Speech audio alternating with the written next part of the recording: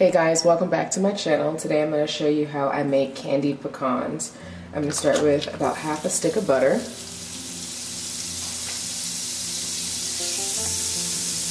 Melt that down.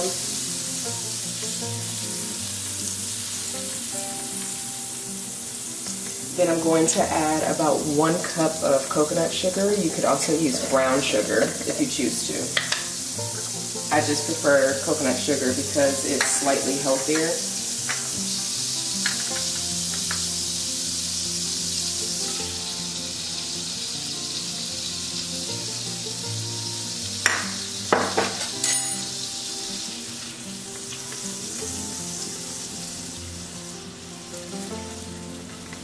And then to liquefy this a little bit more, we're going to also go ahead and add in about half a cup of spring water.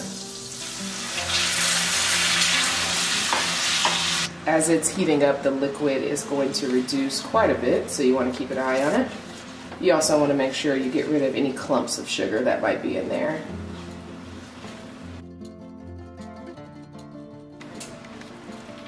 I'm also going to add in just a sprinkle of sea salt. It goes really well with the sugar.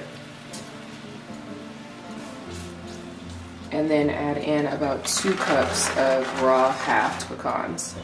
Make sure you toss the pecans really well to get them nice and coated. And I'm going to turn up the heat here just a little bit so that way the sugar mixture will reduce a little bit more and the sugar will start to harden. Once the sugar mixture has completely reduced and the pecans start to clump and stick together, you know they're ready. So go ahead and turn off the heat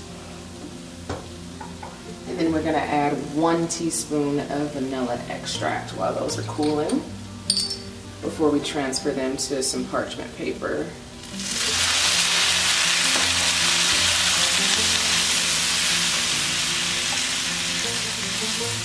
Give them a nice toss.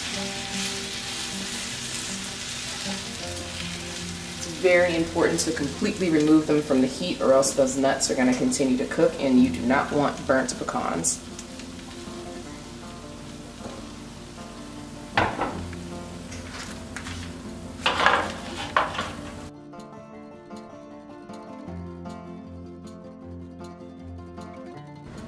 Mmm, absolutely perfect. Enjoy!